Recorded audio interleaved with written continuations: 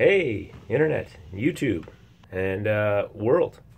Um, welcome to what I hope is going to be the start of a series of ongoing two or three minute uh, snippets of my thoughts, uh, my reflections, my experiences as I continue to navigate the academic world of physical therapy, uh, rehabilitation more broadly, uh, and more specifically, pain, uh, pain man- management, pain measurement, prognosis, and outcomes.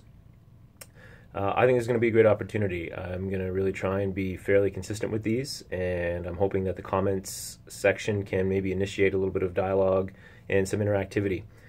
I know that there are a lot of people out there who are as passionate about uh, the, the, the field as I am, and I would love to interact a little bit more. Uh, we've got some big things coming up on the horizon, and both from an academic as well as uh, I guess we'll call it non-academic sense and uh, I really want to just start to uh, to connect more with uh, people outside of, frankly, the ivory tower here at the University of Western Ontario, in London, Ontario, in uh, in Canada.